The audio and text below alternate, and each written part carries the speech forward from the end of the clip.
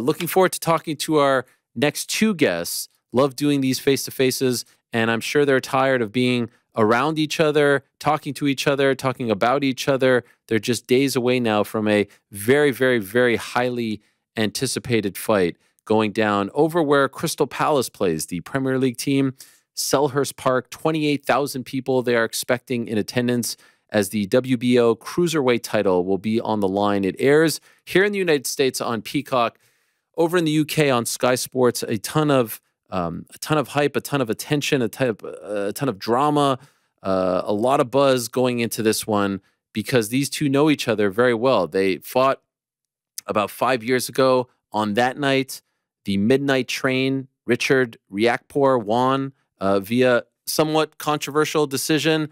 Uh, since then, his opponent on that night, Chris Billam-Smith, has not lost and, in fact, uh, has become the WBO cruiserweight title. So that fight um, will be, you know, replayed on Saturday, and this time uh, there will be a title on the line. There's a ton of interest going into this one, and they're both kind enough on one of their last stops before fight night to join us here on the program. We are very appreciative of that. Uh, Chris, we say hello to you. Richard, thank you so much for the time as well. We really appreciate it, gentlemen.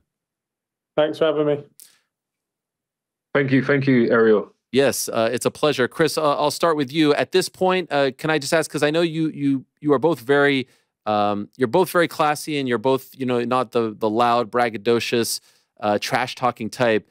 Are are you tired of all the buildup? Are you tired of? I know you, you guys were with each other at Talksport. I watched it yesterday in the studio. At this point, have you had enough of being around this man, talking about this man, thinking about this man? No, no, I'm. Uh, I enjoy it. It's fight week. It's my uh, favorite part of uh, favorite part of camp. You know, fight week. You got to enjoy all the all the media and everything that goes with it. So uh, yeah, no, it's um, obviously getting closer now, but uh, enjoying it nonetheless. How about you, Richard? What's your sentiment? What's your feeling as we approach fight night? But you guys have had to do a lot of stuff together leading up to this.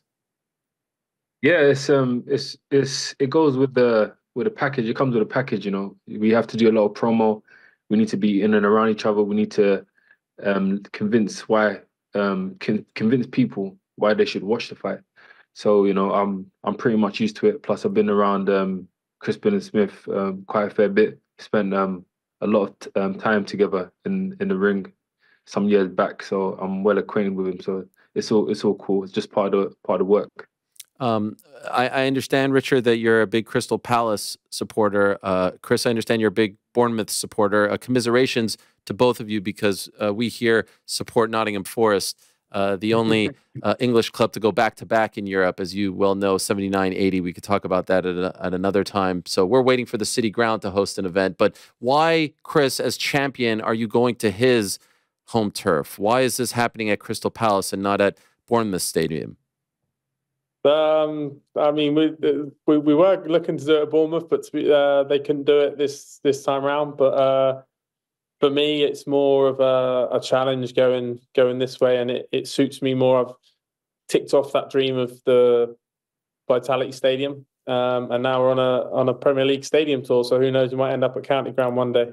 I, I would love that. That would be great. I, I, think it's great that you guys are doing this, and uh, we don't see enough of this sort of thing uh, in America. So I think it's brilliant. Uh, Richard, I know that there was some talk about who gets which locker room. Uh, can you tell us about that and where do things currently stand? To be to be fair, um, um, Chris deserves to have the the home locker room. Um, I couldn't care less. You know, if if they said that I had to change in the in a car park, I would do that too, and warm up and get ready there. It's it's not really a big deal for me. Um, yeah, so yeah, is was okay. So you're going to be in the away locker room. Yes. Okay. Did you know about this, Chris? Um, yeah, my team told me that they, you know, uh, got me all championship rights, champions rights, which are home change room, etc. Um, I leave all that stuff to them. Um, but yeah, it's all, always nice to have a, a, nice change room. I was in there uh, yesterday, and it's a, a lovely, lovely room.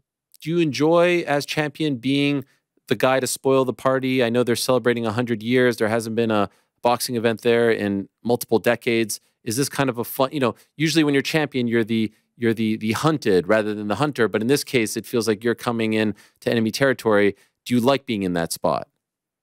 Yeah, for sure. I think um, it gives me great motivation for this fight of um, go into the into the Lions Den and and uh, you know putting on a great performance and and unfortunately ruin a lot of people's night. Um, Richard, I've I've I've seen a lot of stuff that you guys have done, read and watched a lot of your interviews, and I think you may have upset his team when you insinuated that he's taken a lot of damage over the years, that uh, it's taken its toll on him. Could you expand on that? Do you feel like he is not quite the same person and fighter that you fought back in 2019? I think he's improved in a lot of aspects, but at the same time, he's taken a, a lot of damage, as we all we all have, to be honest. But um, um, some more than others. You know, um, when you box, it's it's basically wear and tear on the body. Um, that's why we can't stay in our prime forever, and um, we have a, a, window where we have to try to look after ourselves, um, take as least amount of damage as possible, so we can have a longer career. And with um, Chris Smith, one of his um, attributes is, is, that he has he could take a punch, and I think it's probably affected his, his style a bit, but he doesn't mind, you know, taking a few shots because he knows he can. But you know, the the way the game is, the more you take, the more damage it does, and it just potentially can have some cracks in in the glass, and it just takes one shot just to crack it, and then it's never the same again. I see you kind of smiling there, Chris, as you're listening to this and looking away. What is your response to this assessment? Uh, there's no deterioration, that's for sure. Uh, it's been a fantastic camp. Sparring's been great. Um, there's definitely no deterioration from my point. Uh, when's the last time you watched your first fight against Richard, Chris? Um, maybe a month ago. Um, just yeah, I think we we also watched it in Sky Sports some highlights. We we, we watched a few highlights then. Um, so yeah, a, a, a while ago. What what is because uh, you know you obviously didn't come out on top that night. What is a lesson or two that you learned from that fight that you will be looking to not replicate in this fight that you are going to try to learn from so that it doesn't happen again on Saturday?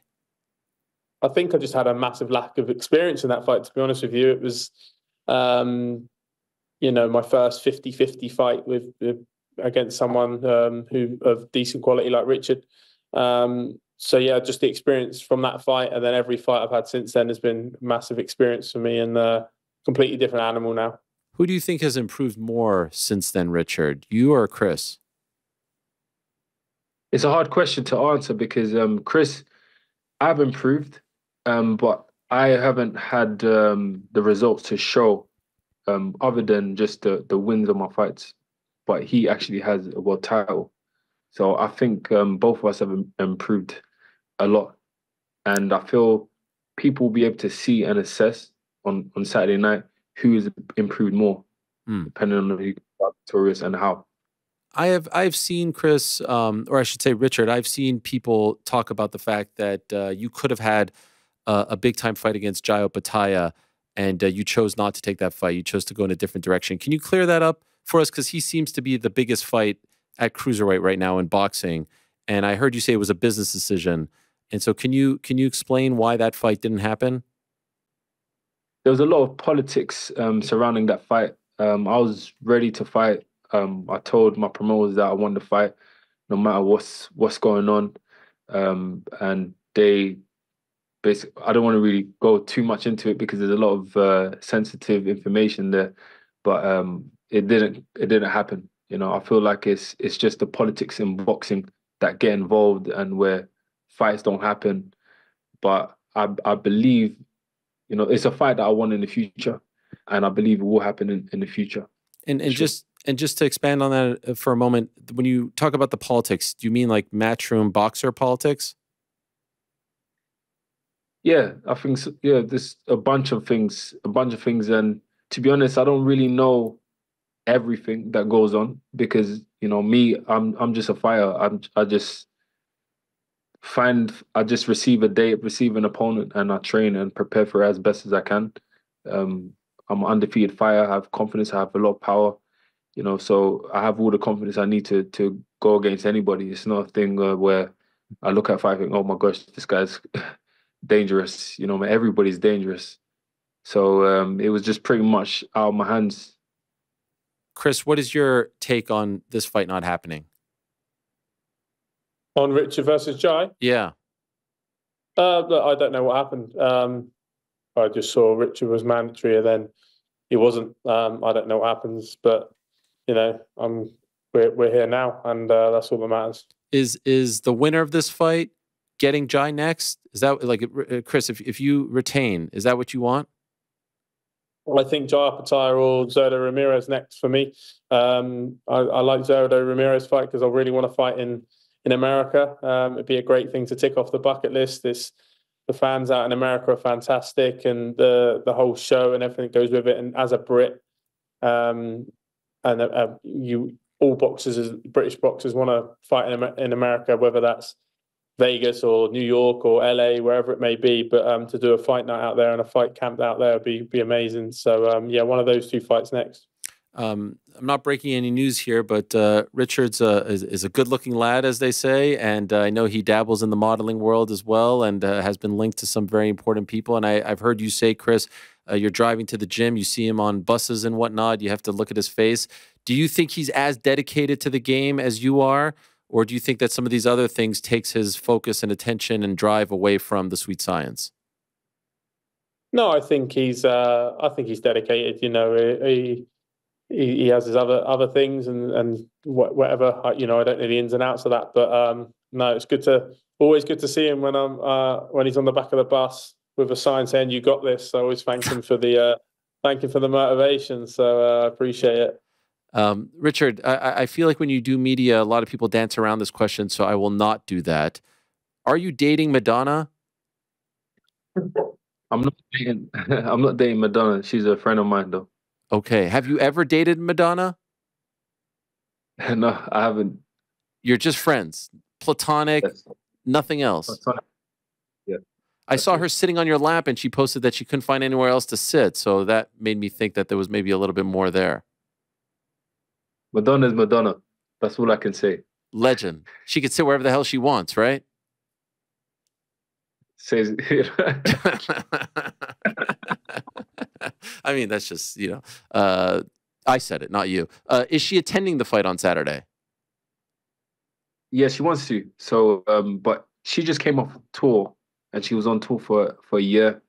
So she was quite exhausted when I spoke to her last. Um, but she said she wants to come. I think it's dependent on a few outside variables. So hopefully she can make it down. But um, yeah, everybody wants to see her too. So yes, I think it'll be I mean, she's got to make a call at some point. The fight's in like three days. Of course, yeah. Can you tell her to hurry up? We all want to know. Is she going to be sitting there or not? Well, okay. That's it. I appreciate it. Um, I, I don't. I don't want to ask you to rehash your life story. People can read about it, Richard. But you have overcome a lot. Uh, you were stabbed when you were younger. You're outside. Guy wants your phone, stabs you in the chest. You survive. It's an incredible story. You have a scar to show it. Not a lot of people would survive. But the reason I'm asking you about it and bringing it up is because you went through that and overcame that and survived that, does that make you a better boxer in the sense that there's nothing that anyone, any human being with two, you know, hands can do that would make you nervous or afraid or anxious or instill fear in you because you overcame life and death? That's maybe what makes you so great as a boxer. There's nothing that anyone can do that can be worse than what you experienced, um, you know, a few years back when you were stabbed. I think um, that's that's a good question, Ariel. I think it's it's a, a, a whole bunch of variables that affect a fighter that makes a fighter a, a, great fighter. And from my from my knowledge and from from what I've seen, my perception, all of the best fighters they came from adversity and struggle, and um, which made them fight in a certain type of way. If you check my fights, you could see it when I fight. You know, there's fights where I didn't really have experience. I didn't really have that um, experience as a boxer, like as an amateur boxer and stuff like that. But I was able to to you know fight for what what I need. You know what I mean? Um, just find a way to win, and that's pretty much been my my mentality. When I look at like fighters like Roberto Duran, um, you know, what's it? Um, all of these fighters, they all had something because they came from they came from the gutter, and I came from that place, and it's definitely helped me fight and um, differently. Mm. Sure. Um, well, Chris, for you, a lot of focus is on Richard's struggles and upbringing And up. Do you believe in the same? Do you believe that a great fighter needs to overcome great, you know, challenges and struggles? And and have you done that? Um, in, in a sense, but not in terms of necessarily upbringing. I think my, my upbringing was fantastic. I was very fortunate, very privileged as a as a child and, and teenager, and um, yeah, very very lucky. So, but you have to go through things in the boxing ring, obviously, to to in or whatever field you're in, you have to face adversity in that. And um, I've done plenty of that in the gym, in fights, um, you know, uh, and and all that build build you. And you can't you can't buy experience. And the experience of I've had in, in boxing of of maybe the fight I am and um, give me great confidence. Um, I, I, wanted to ask you, Chris, about another fighter on this card, Ben Whittaker. He's been somewhat of a, um, you know, a, a, hot topic, a polarizing figure in the sport, given his style um, as a, as a champion, as someone who's accomplished in the sport now, how do you feel about, for lack of a better word, his antics in the ring? Uh, look, that's that's his his style, and he's getting well known for it. Uh, I know Ben outside the ring as well. I, I was on um, GB assessments with him as, as an amateur, and he's a he's a great lad. Um, he's a fantastic fighter, huge amounts of ability, um, and you know I know he he likes to showboat, but that that's him everyone used to love Prince Naseem for it, and and you know a lot of show, but some people like it, some people hate it, but everyone's talking about him, and uh, that that'll make him a huge name, and, and has done already. Uh, there's been, you know, Richard, you're you're no um, you're no stranger to you know the tabloids and all this stuff because of maybe some of your, you know, your your your friendships, modeling career stuff. Can I get your take on the Tyson Fury stuff? That came out this week. A lot of people coming to his defense saying, like, look, the guy is allowed a night out. Others saying, this is a sign of of his demise. Uh, I don't envy athletes who have to live in the cell phone era and everything is documented, unlike 20, 30 years ago. When when you see this, where do you fall? When I see that, I just I think a lot of um, a lot of people forget that we're actually human beings at the same time. We might want to go out, we might want to party and have a drink. I'm not saying that I drink um, because I don't, but you know, everybody everybody is is different. Everybody's like everybody's a human being. Um, and you know, if he wants to do that, let him do that. He's I think he's got to the point of his career where he can enjoy himself. If that's the way he wants to enjoy himself, let him let him do that. Um, yeah, it's a bit tough, you know, because certain people can't be themselves, you know, when you're in the public eye, which is why there's a lot of private clubs and stuff where, you know, these athletes um choose to go to. But um I don't think Tyson Fury um, I don't think this is the first for Tyson Fury. I think Tyson Fury's probably been doing this throughout his whole career, and and it's just another day. Mm. Uh, Chris, uh, for the um, American fight fans, a lot of attention here stateside for the uh, Tank Davis fight this weekend. There's a Tank Davis Frank Martin fight. David Benavidez is on Saturday. I'm trying to get the Americans to watch you guys on Saturday afternoon uh, because that's when it will air here on Peacock. And I think that the card is great, and I think what you guys have done leading up to this. I think the venue is great. I think your first fight was great. It's all great. And so I'm just wondering if you could give a pitch to the audience who may be watching stateside as to watch why they need to watch you guys on Saturday afternoon before they get ready for the Tank Davis fight. Yeah, I mean the the Tank Davis fight is a fantastic fight. Um, well, I'm I'll probably still be awake for. Um, so uh, I'll be watching that. But yeah, I mean, it, I think it's safe to say that America fans will definitely like my style of of, of fighting. Um, it's it's non-stop action, it's intensity, it's um, it, it's savagery, and uh, that's you know that that in itself is is worth worth watching um, and warm you up for the for the evening fights. Controversial decision. Uh, some say there was a rugby tackle potentially involved. Uh, Richard, do you need to get a stoppage here to leave no doubt, put an exclamation point, get the belt, and move on? Yeah, absolutely. Um, that's that's what I do now. That's what I focus on. I feel like, you know, boxing fans don't want to see 12 rounds. They want to see people get knocked out, knocked out cold. And I'm I'm happy to say I'm I'm blessed with the power to do that.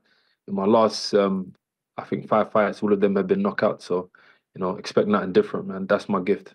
Well, I'm looking forward to it, guys. Thank you so much for coming on. I appreciate it. Uh, one more box checked, uh, checked, excuse me, on the way to uh, fight night, and it's going to be quite the scene at Selhurst Park. I am looking forward to that scene very much, and looking forward to watching you two do the dance again. So, Chris, thank you for the time. Good luck to you, Richard. Thank you for Thank the time. very Good luck much. to you, and uh, may the best man win. Very much. Cheers, Eric. All right, guys, take care. There they are, Chris Billam-Smith and Richard Riakporhe. That is a fight that is taking place uh, this Saturday on Peacock. Uh, did I? What did I say? Box chicked. Box chick is what I Ah. heard. What is going on here? So much. Who me? Yeah, it's a lot. Aaron. Ah. Just trying to make you smile. Uh, no, you know, listen, we're all human, Frank. We're all human. I suspect that Joe may not be human. Yeah. Who, Crypto? Joe? Crypto Joe. It's like a machine, always calculating crypt- cryptocurrency. This is true. Uh, one second here. Uh, just talk amongst yourself for a second. What's going on, uh, Connor? Con Dog. Yeah, not much, man. That's good. What'd you think of that uh, face off? It was good, dude. I liked how Nice. they uh, communicated to each other. Oh, yeah. A lot of uh, respect there. A lot of, um, Oh, you're back, man. What's up? yeah, I'm back. This is what I Are do. you know, it's- dithering Was that- around? was that- yeah, dithering, dilly dallying. Yeah, that, that was me. That was me. Um, Beat the newest, the next level on Candy Crush. Oh yeah, oh yeah. Uh, no, Richard is uh, Richard's a hard hitter, and uh, Chris is great. They're doing big things, and our boy Ben Whittaker, Yeah, Big Ben Whittaker. Looking forward to that one. he's the man. So yeah, a lot of people didn't know if uh, these Boxxer cards would air here, and you know, because there's like three main uh, promotions in uh, the UK. There's um, Matchroom, Queensberry, and then Boxxer. We had Ben Shalom on, you may recall. And so I like these weekends. I like these weekends where there's, uh, you know, not like a major event, but there's a sprinkling. Um, probably the biggest fight of the weekend would be Tank Davis, Frank Martin. Would you agree with that, GC? hundred percent. Tank's not happy. You know, I, talked on Monday. You know, they're they're doing these pay per views, but you need to have some fight nights. You need to, I- like, I, do, I don't really know.